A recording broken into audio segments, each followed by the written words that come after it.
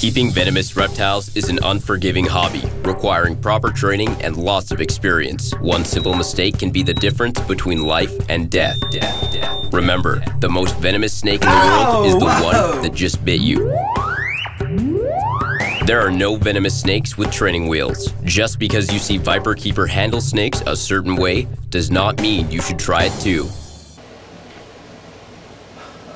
Okay, moving on to a lot more toxic uh, things. Uh, the, uh, the nearly yearling uh, leucogasters uh, will need, well, I'm not sure if I'm going to, well, see what happens with this walnut substrate is when it gets wet, it actually sort of molds and gets nasty. So we're going to do a substrate change on these. And these, of course, are highly lethal at this size. Um, you know, if you got bit by the pygmy rattlesnake or one of the insularis, uh, it would be a very bad, uh, uh, bad couple of days. Uh, uh, you get bit by one of these, and you're definitely going to the hospital for antivenin. Uh, the chances of getting a dry bite from one of these uh, is very, very low. Uh, they don't mess around, so we don't mess around uh, with them. These are captive hatched and bred here at the lair. Um, unfortunately, there's not a lot of people that really appreciate uh, uh, in the U.S., except people who have venom labs and uh, such, um, because the venom is quite uh, an interesting compound for medical research. Um, and there's one lab that uses leucogaster venom. Uh, they're a supplier for venom for uh, a, uh, a company that produces anti-venom for Africa uh, out of Spain called Inoserp. Um, it's a very, very effective, very well respected anti-venom with and it uses venoms from several uh, species of snake depending on the kind of Inoserp antivenom that you, you stock or have. There's a Pan-African that sort of covers the many, many species. It, it actually has, you know, uh, has, uses venom from several species of Echis as well as a few species of Bitis and Naja and uh, Dendroaspis, the mambas and such. And uh, uh, my friends at the uh,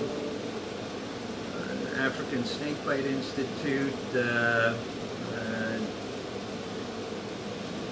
George, um, Nick Brandehoff and uh, Ben Abo and stuff, when they go to Africa, they they use this antivenom from Inoserp to treat bites. It uh, is very well tolerated by the patient and very, very effective against uh, a variety of African snakes. Uh, this one looks like it probably, although the tail is a bit long, I think it's probably a, a female. Um, and because it eats really well, that would be another indication. Now let's not go running off into the sunset. You don't want to play snake hockey. See, here's your bin, there's your furniture. Um, nothing bad happened to you. Uh, we'll put in a little bit water later. Um, a lot of times I don't even put in water dishes for these guys. I'll just spray the walls of the uh, bin down uh, just to uh, just to make sure that they hello oh you're you you think it's feeding time I'm very sorry to disappoint you now this one really prefers frozen thawed geckos and not uh, um, not mice like the others 1, 3, and 4 uh, prefer, uh, will easily take pinks. This one used, used to take mice, but now has decided all of a sudden I'm going to be picky and eat only, this is definitely a female. Um, this one uh, now prefers the geckos, which is really sort of surprising. Uh, um, I'm sure if I gave it a live mouse, uh, it would eat a live hopper, but it, for whatever reason really doesn't like frozen thawed uh, uh, mice. So uh, it has switched to geckos and uh, I'm going to try to switch it back. Uh, this is a constant battle for me here at the lair. Um, snakes have uh, a particular uh, favorite food and you know sometimes I think they get bored of it uh, and will, will switch back to something else and uh, something that it, I don't prefer to feed, like, you know, frozen thawed geckos, uh, uh, because they're more expensive than mice and more difficult to procure, and, you know, I have the unsavory uh, uh, job of of euthanizing a bunch of geckos, which like geckos. I like lizards. I don't. This is why I really am hesitant to, you know, I don't feed king cobras and stuff and other snakes. I get them transitioned to, uh, you know, something easier and more plentiful like rodents uh, than uh, having them just dine on other snakes. Okay, so now uh, time to put this little gal or guy back in there. And yeah, Echis really don't like to be manipulated. There you are, you're home. You look like you're you're due for a shed. There you go, you're home. You can go back and chill out and I'll I'll feed you later. So again, these these were all hatched and stuff, and uh, um, we put a minimum amount of water in the cage because you'll see on this next cage, uh, when you overflow it, it can really mold up really fast. I mean, that didn't take much time at all. Although I know you're frightened. Um, we'll try to make this as a friendly process as possible. But being your Echis, you're not going to uh, go with the flow, are you, huh? They don't like being poked out. Nope. So we will attempt not to play snake hockey with an Echis today. Again, these are all from the same litter, same mom. I don't know who the dad was. This one looks to be a male, and for safety reasons, we're going to put the lid on while I clean up their bin. Alright, this one's ready to go back in. Um, Lori and I had a discussion off camera because it's easy to spill the water from the water dish uh, and that makes a mess in the cage. Um, we decided that we'll just do on a regular basis a couple times a week spray down the walls and uh, this way. Uh, they're mostly scale sippers anyway. They'll get hydrated uh, off the wall so to speak and uh, this way we it's very easy that when you move the cage in and out it's very easy to uh, uh, to spill water like you can see here. Um, alright so this one needs to come out. Hello, how are you? Nice to see Oh, not so nice to see me, huh? Well, I'm sorry, but uh, we'll put you over here uh, on a temporary basis. And we'll clean out your cage. Again, they don't like the slippery surface. Uh, I've got some other wild-caught animals that I'll crossbreed this with, uh, uh, depending on what sexes they turn out, to produce some offspring that are unrelated because here at the lair, unless I have no other option, uh, I don't inbreed my animals like other keepers might. Um, I try to give them uh, genetic diversity and this way it's a much healthier bloodline that we, we move forward uh, uh, into other collections when the animals uh, end up at different zoos, venom labs, or even some private collectors. Although there's not many private collectors here in the U.S. that like Echis. Um, and that's unfortunate because they're generally really sort of easy, easy to keep. Um, they're very beautiful little snakes. They're, of course, they're very irascible and, and very easy to, to anger, but um, overall, they're, uh, they're relatively easy to keep and handle. Um, one interesting thing about uh, is uh, think, five or six species now. All those species, except one, lay eggs, and only one gives live birth, and that's uh, Echis sochureki. Um, and boy, do they give live birth. Mm. Uh, the one female I had uh, dropped 39 babies, and believe me, um, having to deal with 39 little baby Echis um, and get them all feeding is quite the uh, task.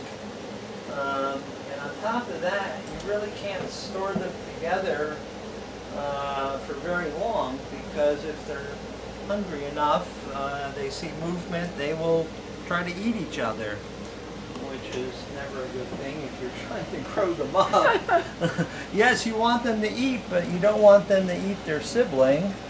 Uh, and unfortunately, that that happens, and that happens with a lot of snakes. That's why you know I get snakes uh, out of the mother's cage as quickly as possible and into their own bin. Uh, so we don't have accidental or on purpose cannibalism take place. And uh, we can uh, we can grow up as uh, as many as possible. So we're gonna put this one back in its bin. Hopefully it will be cooperative cooperative if you ask me. I mean, that went as well as uh, as it gets. Uh, so that's pretty much uh, uh the hatchling leucogasters, and then there's two wild-caught individuals that we have to do next. And I save those for last because those being captive born are absolutely completely free of any intestinal parasites because uh, uh, they haven't been in the wild. Um, hello. No, I'm not going to feed you right now. Uh, these that are from the wild, that are about the same size, about yearling size, this looks like a female, um, you know, they were wild fed and I don't often, unless I see some serious problems. Uh, I don't worm the snakes, uh, although that would be fairly easy to do and straightforward with um, with uh, different worming agents I have uh, on hand. Um, but unless they show symptoms, of, you know, I see definite parasites and worms and stuff, or they're losing weight or have, you know, a watery mucousy stool, Um, I don't treat them, uh, although relatively easy to treat. It's done by weight, and uh, uh, it's easy to calculate the dose. There's a couple of books that are available uh, on reptile parasites and how to treat them. Uh, those are on the internet, on Amazon, and you can buy them. Uh, both of them in the collection. Uh, uh, I don't use them much anymore because I bought Dr. Douglas Mader's uh, book on reptile medicine and surgery. It's a very expensive textbook, a couple hundred dollars, but it covers uh, all sorts of ailments, maladies, uh, has a whole pharmacopoeia inside, giving different doses and uh, uh, different uses of uh, different classes of drugs that that the snake could use, and certainly. Um, uh, you know, antiparasitics are, are common. This guy didn't have a piece of uh, cork, did he? No, I don't think so. All right. Well, if you feel comfortable, I will. Uh, I will see the other room and get a piece of cork part. Yeah. Well,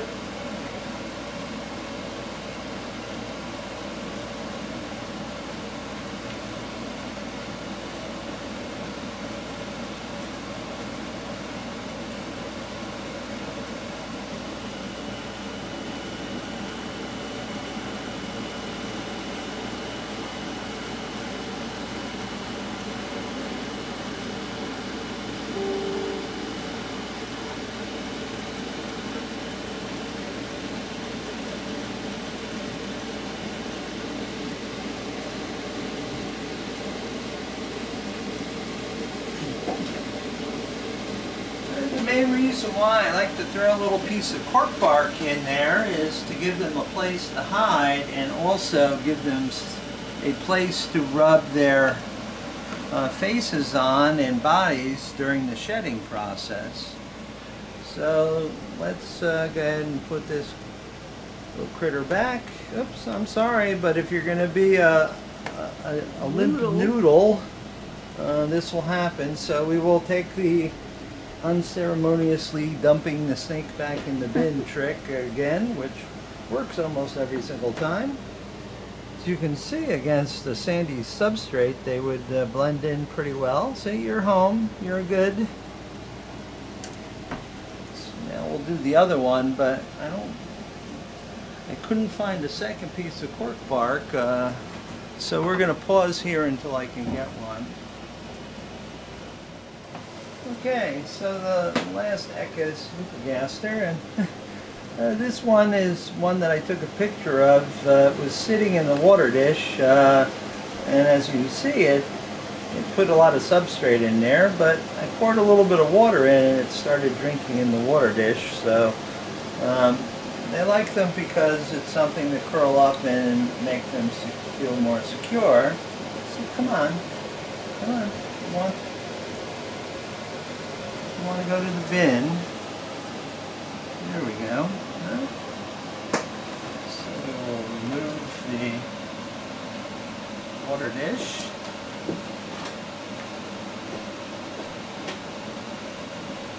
Now, Echis uh, causes more snakebite deaths in the world than all the other snakes put together because they're quite prolific.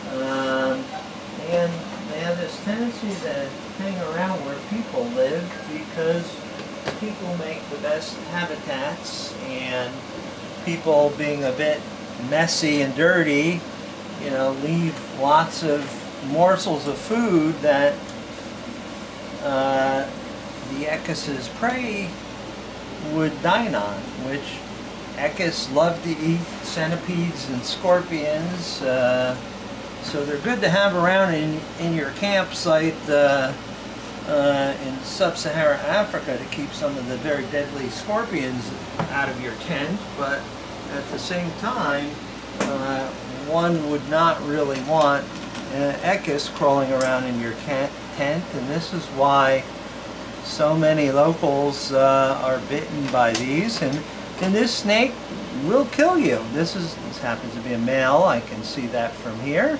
Um, although, you know, he seems to be relatively calm at the moment and not acting terribly Echis-like, uh, which is nice. It, probably because he's a male and we've already discussed many times my opinion about male snakes versus female snakes.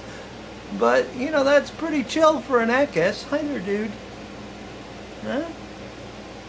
Right now, these two wild caughts are, are really dining uh, on live hoppers.